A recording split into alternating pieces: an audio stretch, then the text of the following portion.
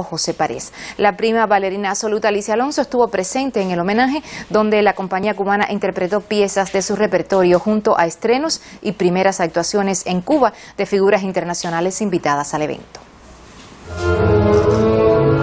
A 64 años de un concierto en blanco y negro con Alicia Alonso como intérprete, el Ballet Nacional de Cuba lo llevó a la escena de la Sala Covarrubias del Gran Teatro de La Habana.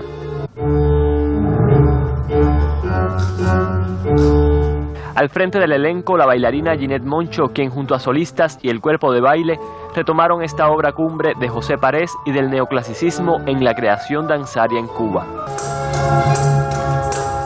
La fuerza y la destreza técnica de Ashley Bowder y Joaquín de Luz, ambos del New York City Ballet, lograron el aplauso y las aclamaciones del público con Tarantela, original de George Balanchine.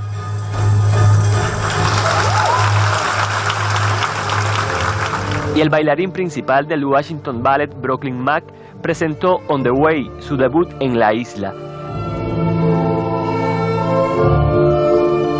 Así se dio el escenario al Padre de El Corsario, creado en 1956 y devuelto al presente por los primeros bailarines Anet Delgado y Dani Hernández.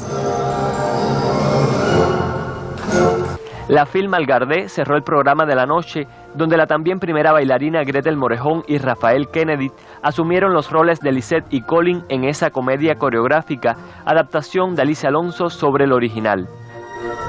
Motivos de admiración, la belleza y la elegancia del vestuario y la música a cargo de la Orquesta Sinfónica del Teatro. Noche de memorias, novedades y clásicos, momentos del 25 Festival Internacional de Ballet de La Habana, Alicia Alonso. Dairon Bermúdez, Sistema Informativo de la Televisión Cubana.